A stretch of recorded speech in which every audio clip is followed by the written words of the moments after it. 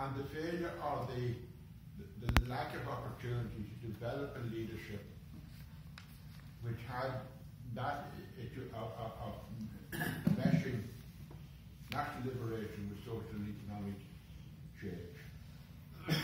that Mellows stands out from that period of time. In some ways, just because was so few. You know, uh, and the fact that that, that time, from recovery from 1916, that you didn't have a period of time to recover or to create a leadership arising out of the War of Independence because of the shortage, the, the, the, the shortage of the time, uh, but also the fact that we're coming out of the First World War, which had, had created havoc across Europe and caused all kinds of dissension within Ireland itself. Uh, and so he stands out as a leader in some ways because there were so few other leaders on the socialist and the economic front. But for all of that, for all of that, he epitomizes maybe rather because of the shortness of the writing, he epitomizes something that could have happened if there had been sufficient time and if your social leadership, like Connolly and those people, had not been executed in 16. So he came to the fore at a time when there was an absence of political thinking, there was military thinking, but not the space within that struggle to develop a political leadership. And so it was very easy for the Conservative right, of what's termed the Gandhianism, to actually control uh, and, and indeed support partition because it supported their interests. You know, so I, I think when he left a lot of the question of when he is prominent in navigation, it's just a pity that there were not more uh, a more evolved social leadership able to come to the fore around that time. Thanks, Joe. Anybody else? Yourself, Me? Yeah, did you have your hand up? You're looking that way.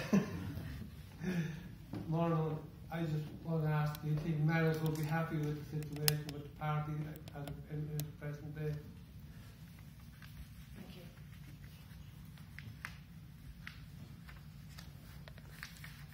Yes. Hey? Yes? Yeah, thanks very much. Uh, how are you all? we have more meetings than down enough to get it. We can help our disciplines. We get on very well. We both, uh, we both have the basic aims and same name.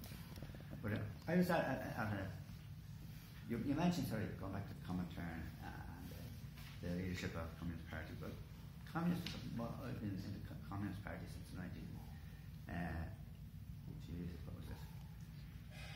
67, 68, so around, around that time.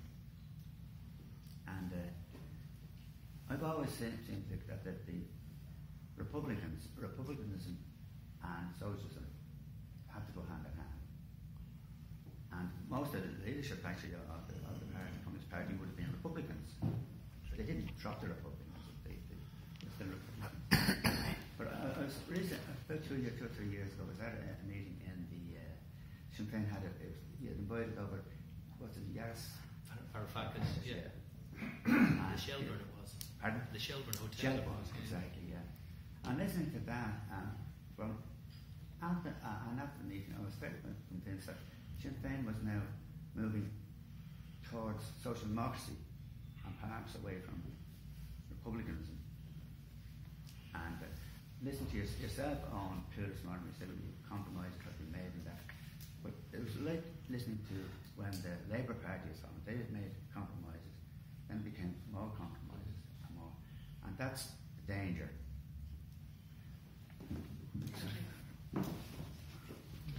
Yes, Yeah. I think so. Sure. Okay, so first of all, on Paul's question, um, the first thing is there, there is nothing stopping the Irish government from having a massive public housing building program. Nothing whatsoever. They could do it tomorrow if they wanted. They could do it within the existing, uh, uh, what they call fiscal space uh, that they've agreed with the European Union, but the spending and, and borrowing rules. Or, for example, they could uh, uh, increase discretionary taxation, as Sinn Féin has proposed, and that would give them even greater increased spending possibilities.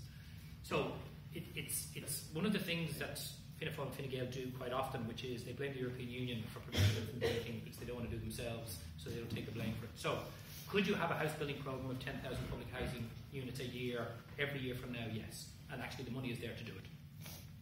If you wanted to move it from 10,000 units a year, keep in mind, never in the history of the state has the state provided 10,000 new public houses a year uh, for such a long period of time. But if you want to do more than that, the European Union's rules are very clear. All you have to do is raise additional discretionary taxation, and you can spend that additional discretionary spend.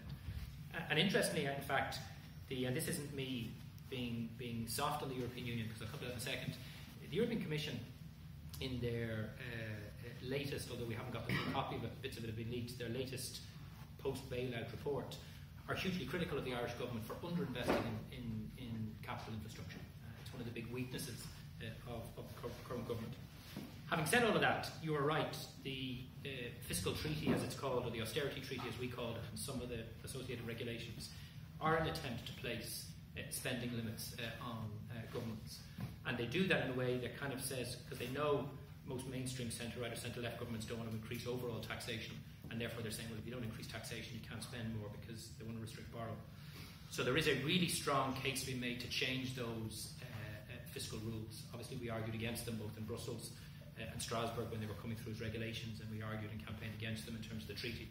And David Cullinane and Pearse Doherty are currently looking at doing a piece of work to say, first of all, uh, uh, is there a greater flexibility within the rules currently, which the government isn't telling us about, which there is, and we'd like people to know that. But two, if we were to change those rules, how would we change them? So, I think you're wrong in the housing bit, but I think you're actually right on the core point, which is the rules, and they absolutely do need to change. And in some senses, it's like a lot of things that the European Union does. It says that it's not trying to limit government spending, and at a very superficial level, that's true. You can raise extra taxes. Very clearly, what they're trying to do is is limit the ability of, of the old social democratic state to borrow and spend, particularly at times of, of economic crisis um, uh, in favour of the kind of austerity and policies that they've, they've put in place.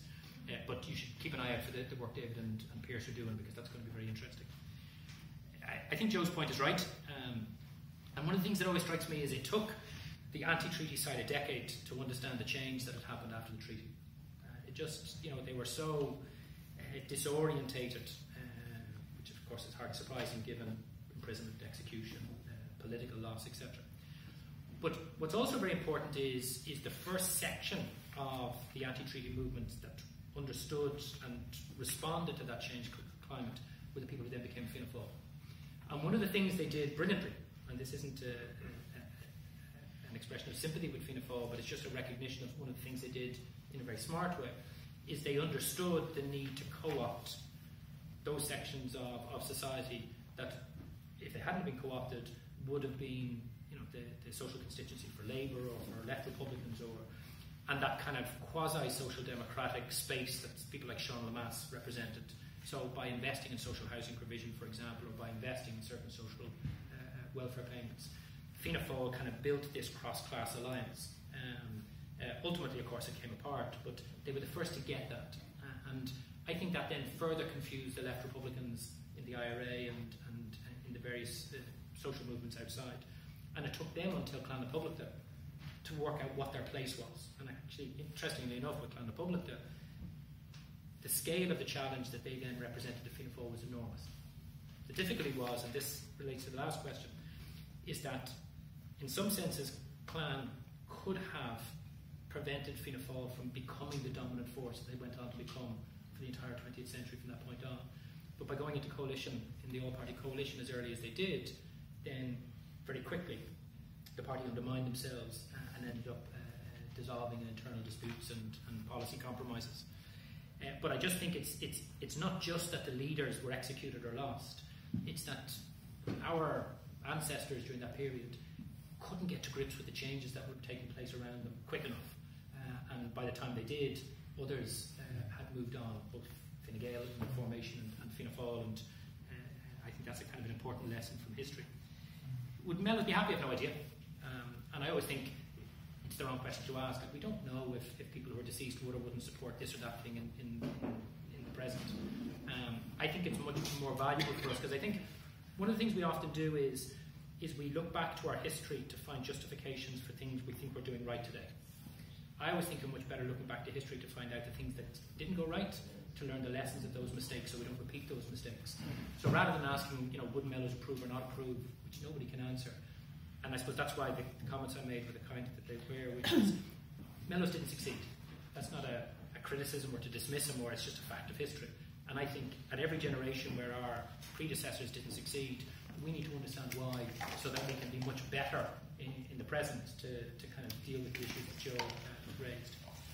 And then on the last point, don't get me wrong, my argument wasn't that we should be making those compromises, but they are questions and issues which we're always debating. Um, and I think you're absolutely right. I mean, I think this is the big challenge. So, on the one hand, Sinn Féin wants to be in government. I want Sinn Féin to be in government because I want, for example, to have a Sinn Féin Minister for Housing building 10,000 public houses a year.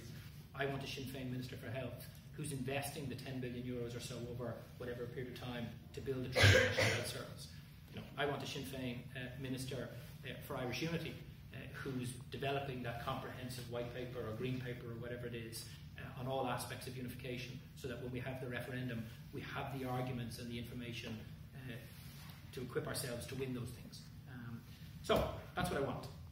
The difficulty is we're what, 13%? We're a pretty small group of people in real terms. And even if we have a good election the next time round and we get to where the polls currently tell us that 18, 19, 20%. So that means you have a choice. Do you say we're never going to go into government until we have an overall majority ourselves on our own? Well, that means we're never going to go into government. Do we then say, okay, well, we want to go into government and we want to build alliances with other progressive forces and people on the left and people who share our ideas? Okay, and that's the option that people like me have been arguing for a long time. But when you add all of those people up, we're still a very small group of people. We don't always get on very well. Sometimes we're tearing lumps out of each other, as you've seen this week. Um, and we haven't managed to convince the electorate that we have a better proposition than others. And therefore, that's not going to work, or that's not going to work for the next 5, 10, or 15 years. Then you have to at least debate the option uh, of, of uh, coalition uh, with forces which don't share your ideological program. And there are huge risks in that. And one of the things I think we need to be debating more is those occasions when, not just in Ireland, but in other European countries, progressive or left of centre or radical Republicans went into coalition governments. And there's been quite a lot. Sometimes as junior partners, sometimes as co equal partners, sometimes, as in the case of Greece, as the majority partner.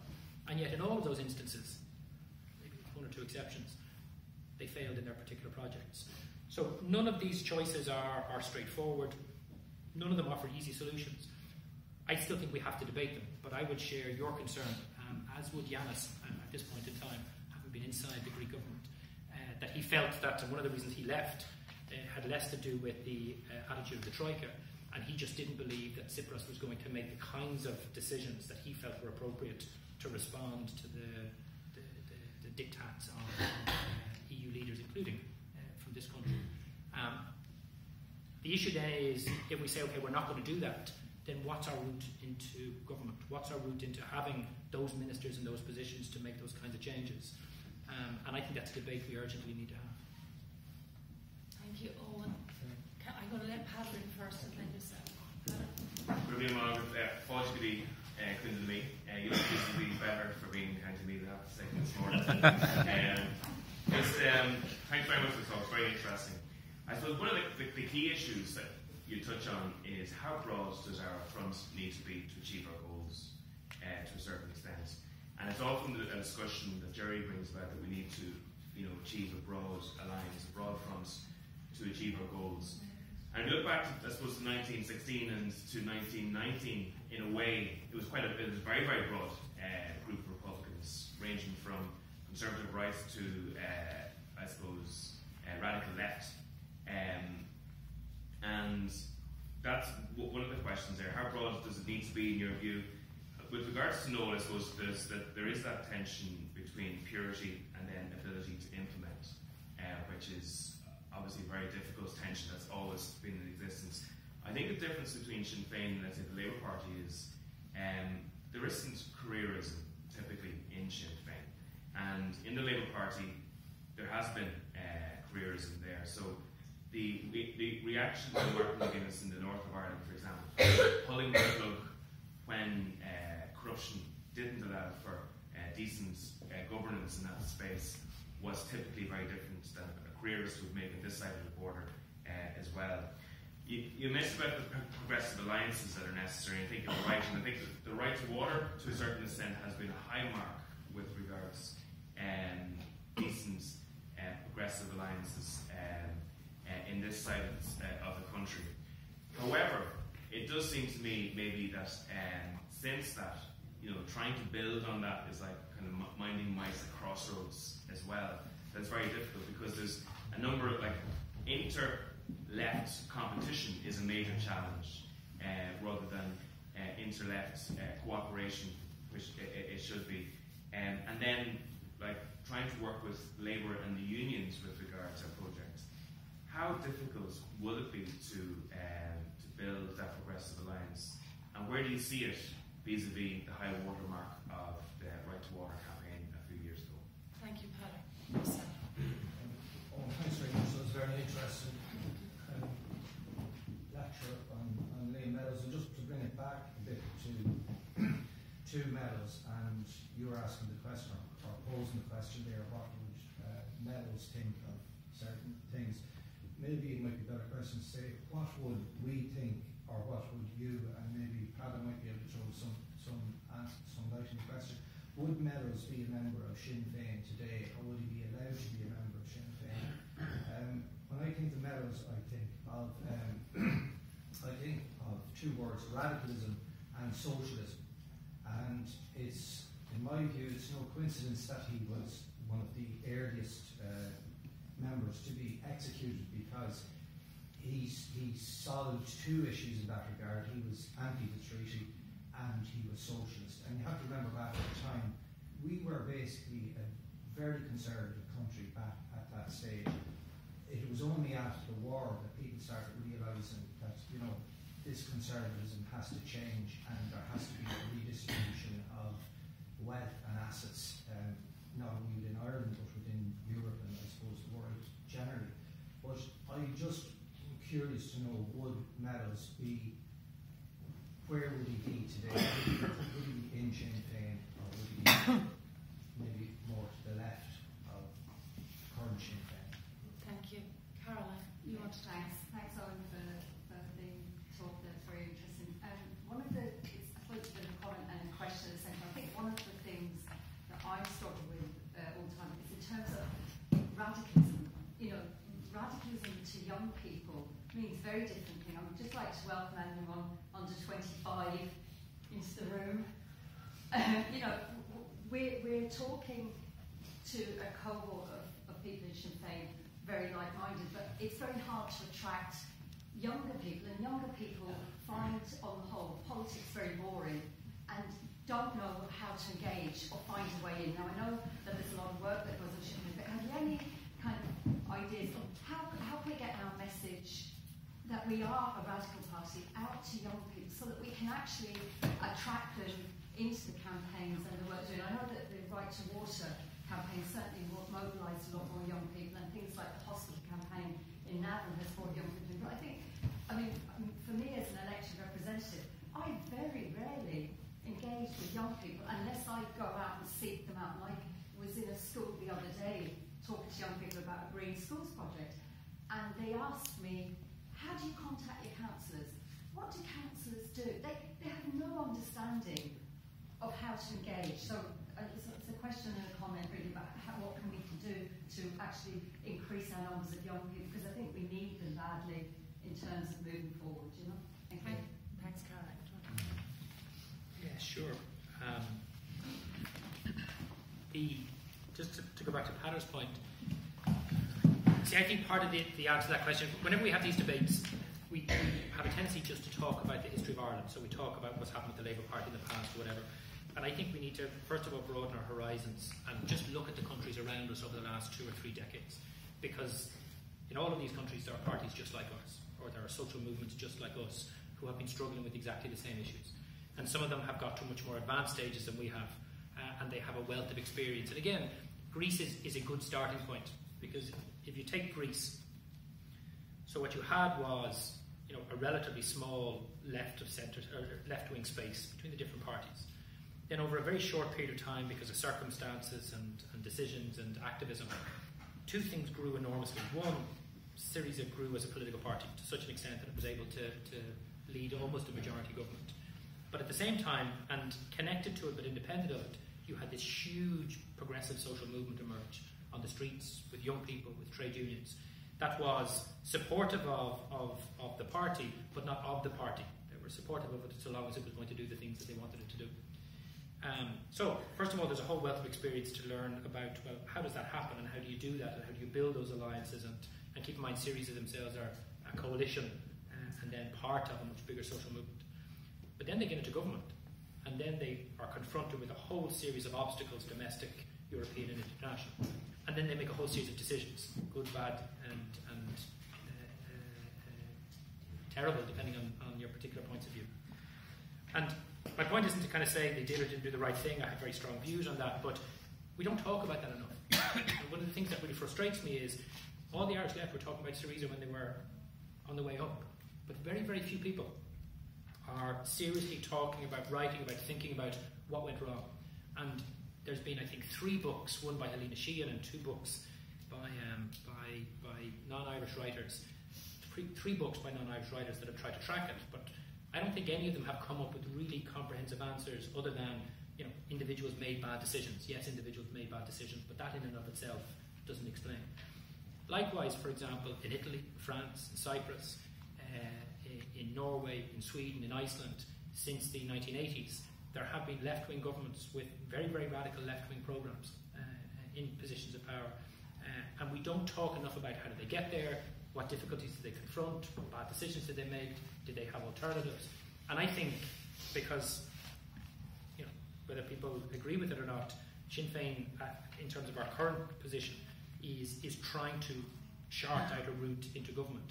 We need to be discussing all of that and learning all of those lessons. I don't have the answers to those things, but I'm somebody who's avidly trying to, to learn why this stuff didn't work in other countries. And I think that's part of the answer. The other issue is, and it's a superficial comparison, but it's always much easier to have unity when you're opposing something. You know, so the independence movement, you're right, it was this huge plural movement, right? Um, at times in huge disagreement with itself, but it had a central point of opposition, which was the British occupation. Um, right to water, again, lots and lots of disagreements, big, big strategic and, and organisational questions and battles have been fought out internally, but we were opposed to a single thing. The lesson, of course, is then when you look at right to change, it becomes much more tricky when you're then trying to take that energy and that uh, mass mobilisation that was opposed to the water charges and turn it into a positive movement, even for some basic principles for uh, uh, social and economic transformation. Um, and I think they probably did as good a job uh, as they could uh, at that point. But then it just disappeared after the election. The trade unions had to get back into representing workers in the middle of a whole series of industrial disputes. We were all elected into the Dáil and we're dealing with legislation and party building and, uh, and all of that stuff. So, first of all, is how do we all carve out a little bit of space to get back to that discussion, that dialogue? And then around what are you doing? You know, so uh, again, it's much easier when you have a single point to focus on. And I don't think any of us are doing it. I don't think the unions are really doing it at the minute because they're so busy with everything else. We're not doing it. The other political pillar partners of, of Right to Change aren't doing it. So the first thing is we at least have to start. And for me, one of the interesting examples is Norway. Norway, as most people know, uh, was a country with traditionally very, very strong centre left governments. Strong universal public services, uh, very good quality of life, uh, and very good progressive international policies. But like a lot of social democratic countries in the late 80s and early 90s, they moved increasingly away from that. More privatizations and less universal public services, etc. Uh, and as a consequence of that, the Social Democratic Party, the, the main uh, party of the centre left, diminished, diminished in size. So what happened was the unions came together, this is quite some time ago, really concerned with what was happening with the country and the general shift to the right. And they said, okay, two years out from the general election, they were going to launch what they called a long campaign. They were going to set out a bunch of policy principles in a whole range of areas.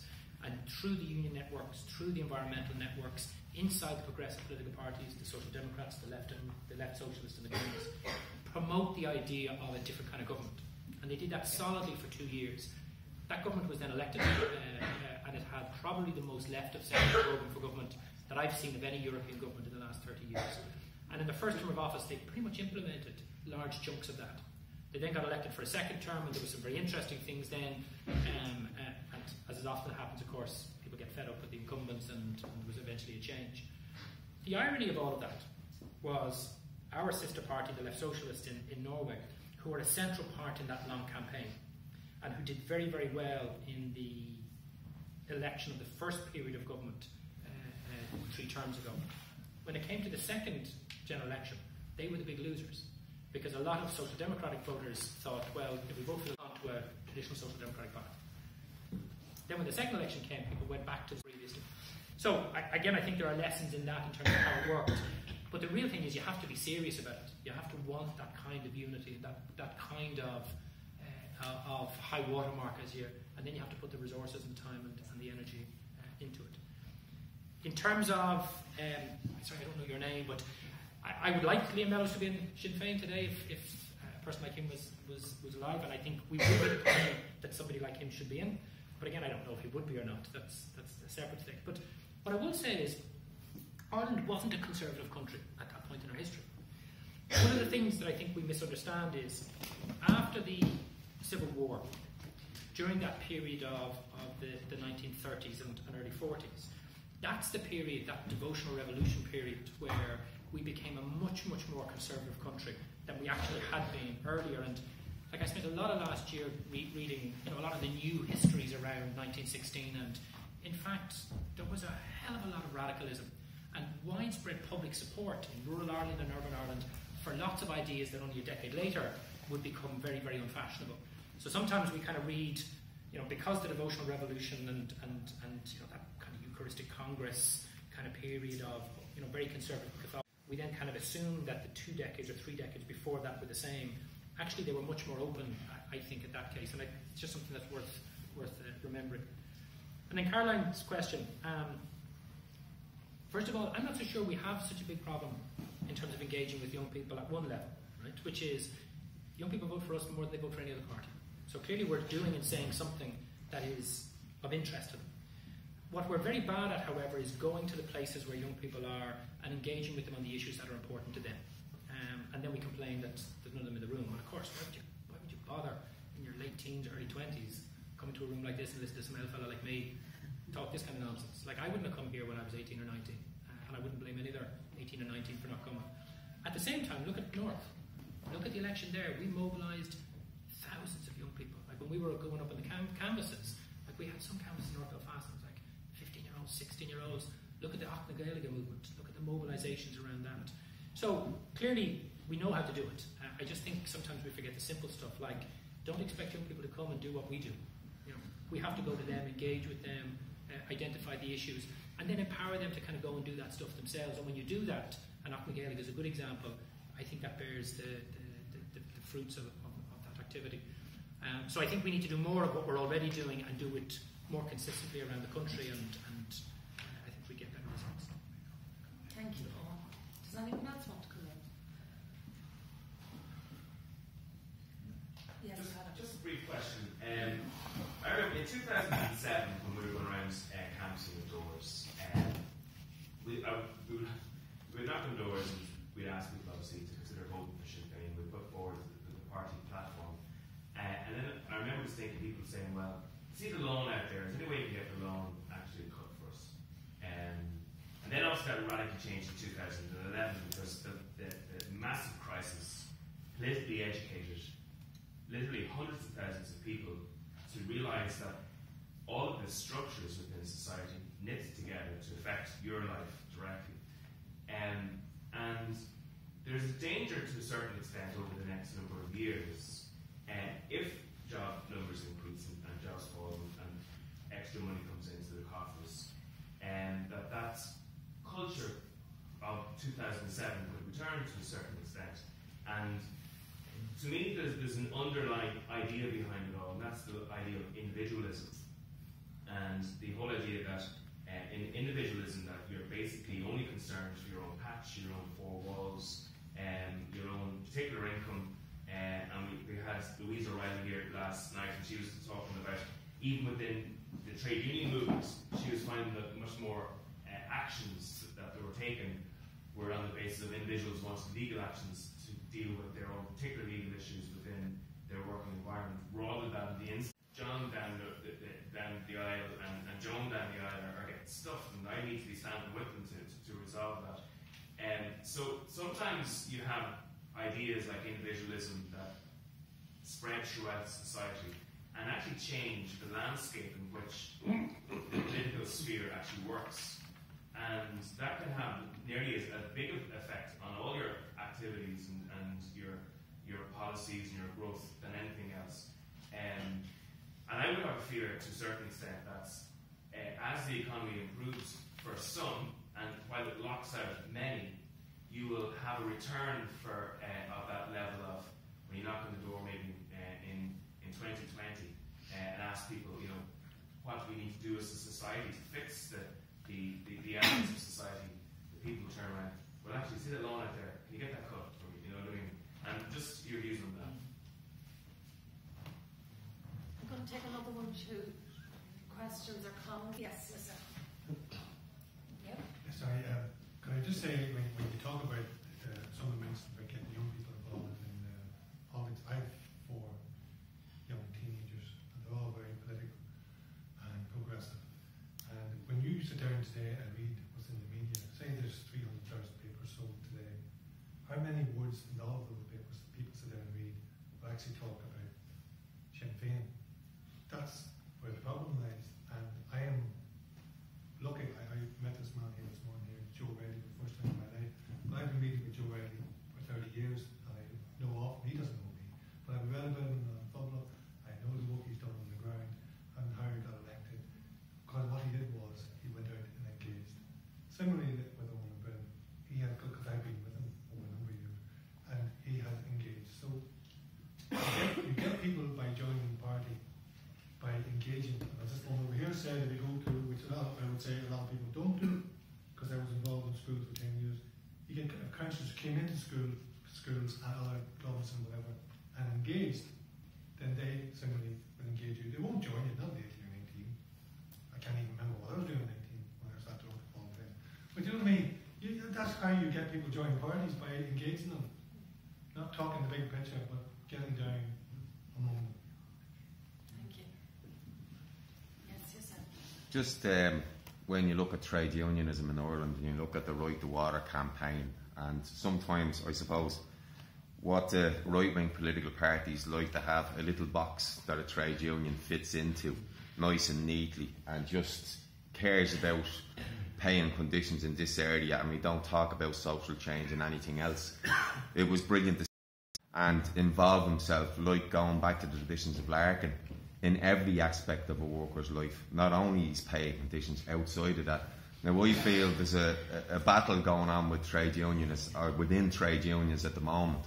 We have really good trade unions like Mandate, uh, like Unite, um, who are actually outside the box. And if you just even look at the two disputes that's in the national papers at the moment. One is with Tesco and one is with uh, Bus Éireann. If you look at Mandate's body language and what they've done, they basically said, look, we're going to take on this multinational. We're going to take on, we're going to pull out all the stops.